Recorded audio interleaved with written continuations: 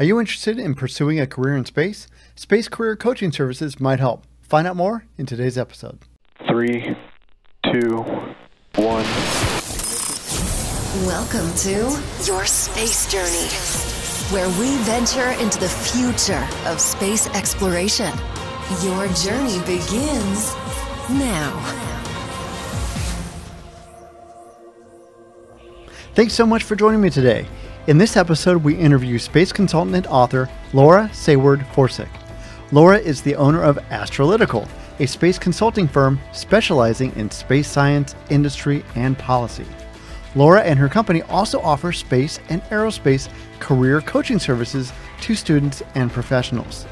In today's episode, we'll dive more into the latest space news and find out more about how you can pursue a career in the space industry.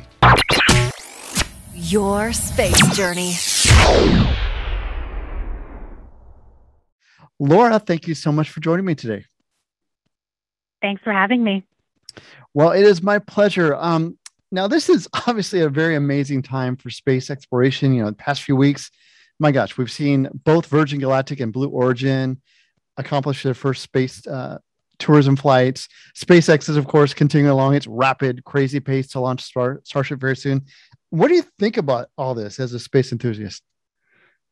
Oh, I love it. I love all the activity. We've seen a lot of increases in things that we had been waiting for for so long. And it's just really heartening to see it all come together.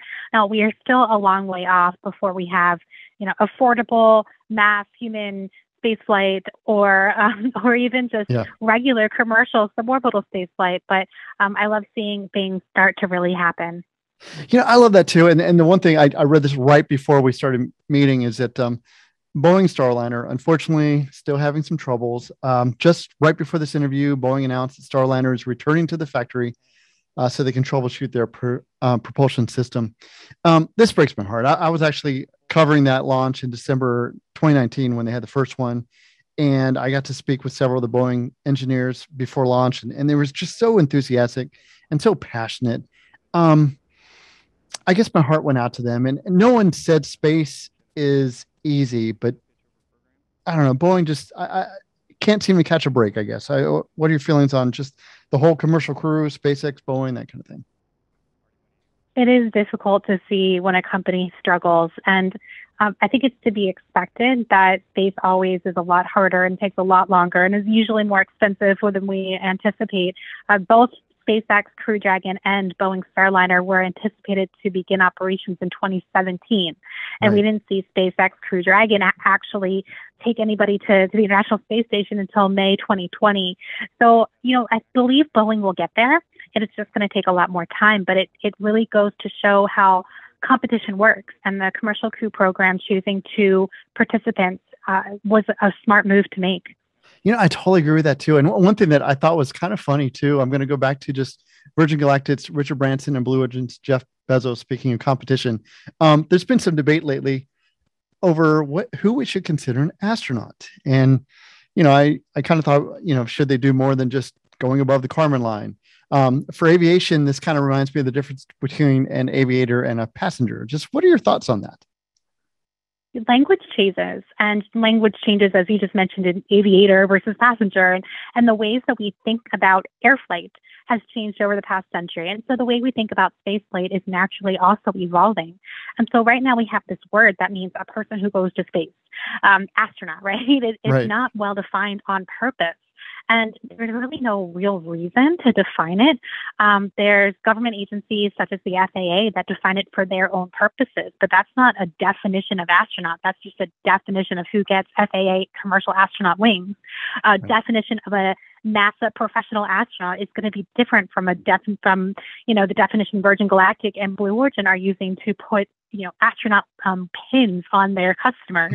yeah. And so I don't see necessarily a reason to limit who we call astronaut, but it might be in the future that the word evolves and we don't even use it anymore except in rare circumstances. You know that's a good point too. And, and Laura, I have to admit, you know, just just your your space sort of journey is what really has intrigued me and inspired me and many others because you know you've been really actively making your dream happen and i love you have this awesome blog called laura's space on space and I, I was reading your your recent entry on that and found out that I, I, didn't know this but you're a graduate student i think of alan Stern's Yeah, so Alan Stern and I have been working together since I um, went to graduate school at the University of Central Florida and um, met him when he was starting a conference called the Next Generation Suborbital Researchers Conference. And he and I have worked together on other projects, but this is a conference that happens approximately every two years now. And it's really exciting to see science happen on these suborbital flights. Science has been happening for a few years on uncrewed flights of uh, New Shepard and uh, Spaceship Two, but now that last Unity uh, 22 mission from Virgin Galactic, it was mm-hmm. the first human-tended suborbital uh, mission, which is just so exciting to see. So I, I, love the fact that researchers are finally getting a chance to fly research on the on on these space flights that are going to be much more accessible and affordable than you know flying to orbit. See, I think that's incredible, and I cannot wait till he. I think he's scheduled to go aboard Virgin Galactic. Um, hopefully, not too far into the future. But let's talk. Let's talk about more about you. Just a few years ago, you created Astralytical, which offers space analysis and consulting. I uh, can you just just more about what led you to form Astralytical and sort of give our audience a, just a general idea of the services you provide. Sure. I call myself an accidental entrepreneur because I hadn't intended to start my own business. It was um, I have no business training. I'm a scientist. And so my um, previous employer went bankrupt. You know, that happens with space startups. And mm-hmm. at that point, I was literally just a few weeks away from giving birth to my first child as I was clearing out the office at Kennedy Space Center. I'm like, what do I do? Wow. I can't just go look for a job right now. And so I decided to start my own company just to see if I could, because why not? And it was one of those things where um, I had nothing to lose that first year was really tough. That first year, I had no idea what I was doing running a business. I, I made some bad decisions, took some bad clients, um, and that happens. And you hmm. learn. And I've learned a ton. I, I learned to value myself more. I've learned to be more selective about the clients I take on. Um, and this year, for whatever reason, last year was was hard with the pandemic, but for this year, it's been our best year yet. And I'm really pleased to see how Astralytical is growing after five and a half years. Oh, well, congratulations on that growth. And, and one thing that really intrigued me, that really caught my eye, is your space career coaching. And of course, you know, I love the uh, name of your packages because they're called Your Space Journey, I believe. I was just yeah, wondering. I, I, I, didn't realize that you had a, a, similar name attached to your podcast before I um, named those. And so, yeah, the, the space career coaching came about um, sort of about uh, when I realized how much demand there was. When I was a student, I really could have used somebody to really show me how to move forward in my career. And it wasn't until I got my first full time job that I hired a career coach. And it wasn't a space career coach that didn't exist. Yeah. But I hired someone to really help guide me and like, how do I move forward in my career? Um, and I realized there's a lot of demand for that, um, both with students, especially um, you know, university students and graduate students, but also um, professionals who have been working in other industries and other careers and always wanted to work in space. So the majority of my clients are actually people who come from different fields and want to work in space and want to transition. And it's been really great to see how people take the experiences and skills that they have and apply it to space because space is naturally multidisciplinary. It takes expertise from every field you can possibly right. imagine and brings it all together to make successful space business because space is not an industry, it's, it's a place to do business in many different industries. And I love hmm. helping people get there. So that's a good point too, and and I, I love how you even have that structured. Again, you have you have workbooks, you have courses, even uh, for one-on-one coaching. Can you just tell us a little bit about the, just the different areas that you offer, sort of uh, space career consulting? Yeah. So people who want to have a little help in their careers, whether they are students or professionals working in another industry, or even professionals working in space who just want to transition their career forward, um, they can either go get the course or the workbook and do it on their own pace. You know, switch around chapters, take the chapters that mean the most to them and skip the ones that don't apply. Or they can have one on one coaching with me either by phone or by email. And it really helps having that um, personalized attention because there is no set formula. It's all dependent on the person's uh, goals and their motivations and what it is they want and what they're struggling with in the moment. So for a lot of people, that's finding a job, but for some people, that is progressing in their current job or um, getting through some kind of barrier that they have in front of them. And that's where I come in is to help guide them and help them make connections and, and, and give them the confidence that they need to move forward and succeed. And it, it actually bridges quite well with the consulting work that Astralytical does because I've had some people who start out in career coaching make a startup and then switch over to consulting uh, services through Astralytical, where I help them either you know, with the proposal that they're working on or some kind of business development, whatever their space project is that they're trying to get off the ground. See, I think that's incredible. And I, I, imagine you've seen just a, as you said, sort of a surge in the interest, and not only the interest in, in candidates and, trying to get into the space field, but also just the opportunities out there. We have so many space companies out there and so many opportunities. And I imagine it's moving at a lightning pace. Yeah, this year I'm seeing increased interest in non-U.S. companies I'm sorry, non-U.S. countries and companies um, mm-hmm. wanting to get involved in space, where it's still huge growth potential in the United States, but other countries are seeing where they can get involved as well, and more investor opportunities as well this year. So more investment firms are coming and seeing how they can get involved and how they can invest their funds in a growing industry. Now, Laura, to go just going back again, I mean, I know you were a graduate, you've been in this field for a while, but what really sort of drew you into the space sector? What what sort of influenced you to say, you know, this is where I want to go? I've always loved space since I was a kid, and I credit my parents to cultivating that love of science fiction within me. Star mm-hmm. Trek and and and stories like that that really captured my imagination. Um, and when I was young in middle school, my parents sent me to space camp in Huntsville, Alabama. So nice. I went twice in middle school, twice in high school, and then twice as an adult as part of a, an internship program at NASA.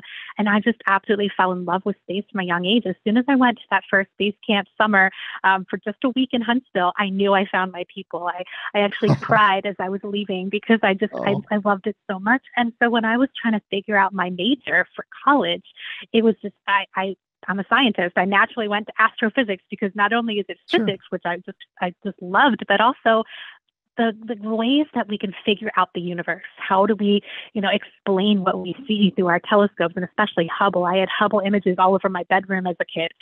And how do we explain it? I, I had a telescope, you know, you can't see much with the tiny telescope that I had, but I still used it in my, in my front yard and, and tried to see what I could see with the moon. And it wasn't good enough really to see like Jupiter very well or Saturn, but I tried.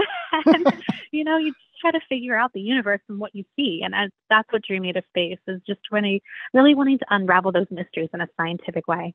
Wow, see, that's fantastic. I, I, love too. Even when you were a graduate student, I believe that's when you got to experience your first zero G experience. Can you tell us a little bit about how that happened? Oh, that was so fun. So yeah, I've done zero G First, I did it with NASA through their program that's currently discontinued at Ellington Field in Houston, ah. and then through Zero G Corporation, which continues to run even to this day during parabolic flights. And it's just amazingly fun. There's nothing like it at all, uh, where you literally have an on off switch for gravity because it's not a simulation. You really truly are diving. And as you're diving, you feel that microgravity sensation for about 20, 25 seconds. Um, wow. And there's nothing like it at all. And, and I would absolutely do it again if I had the opportunity.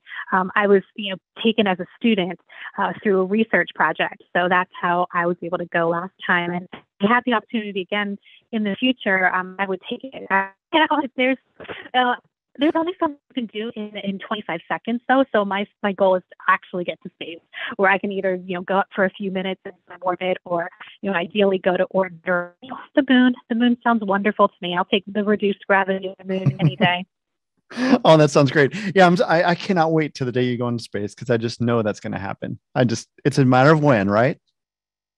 It, absolutely. In fact, I'm writing a book right now that yeah, is hopefully going to come early next year um, that is ties in the perspectives of people who are planning to go, who have tickets, who, you know, in some way are booked to fly on a future flight. And um, really shows how people are preparing, you know, how they're preparing holistically, you know, not just physical, but also mentally and emotionally and spiritually, as well as those surprises that flown astronauts have experienced. And it's going to be a really great guide for people like me who, who absolutely want to go someday. I don't have a title yet, uh, oh. but um, hopefully by the end of this year, you should be able to pre order it. That sounds great. So by the end of the year, they can pre order and it comes out early 2022, then, right? Yes. Excellent. Well, aside from your book, what's next for you in Astralytical? Astralytical is continuing to grow. So we have just started these little mini reports called flybys, which are currently undergoing a redesign, which will then tie into larger reports called orbits. Uh, so you fly by a topic and then you can orbit a topic. Nice. I love that. They're going to be on all kinds of different topics. So the ones that are out there right now are on space tourism and launch delays, and the future one is going to be on um, in space manufacturing. And there's just a whole lot where we can really explore topics that are not widely covered. Um, so I'm looking forward to growing the team a little bit more as well and getting some of these really great topics out there. Oh, that's fantastic. Well, Laura, I just want to thank you for taking the time to join us today. We're so excited to just watch your career, watch you help others, and uh, just see how Astralytical is making such a great impact. Thank you so much. Thank you so much for having me.